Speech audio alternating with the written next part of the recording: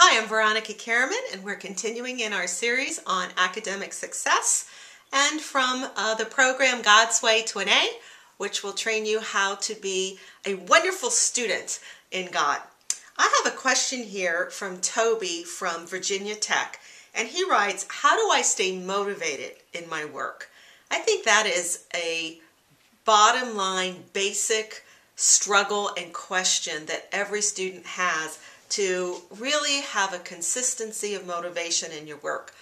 And as we've been talking about the renewing of the mind, the scripture gives us a higher motivation for doing our work than just to get it done or just to do it because of the grade.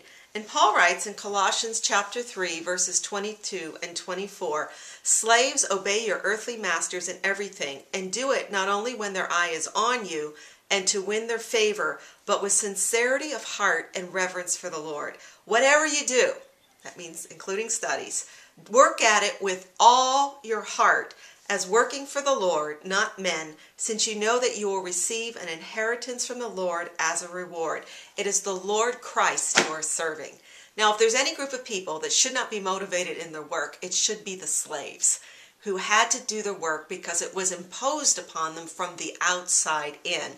And what Paul is saying is don't just let excellence or mediocrity be your source of motivation, but allow your love for God and to do your work as unto the Lord with a whole heart. It is the Lord Christ you are serving when you do that test, when you write that paper. So, what would happen to your motivation if you allowed yourself this week to be motivated wholeheartedly in your work as unto the Lord.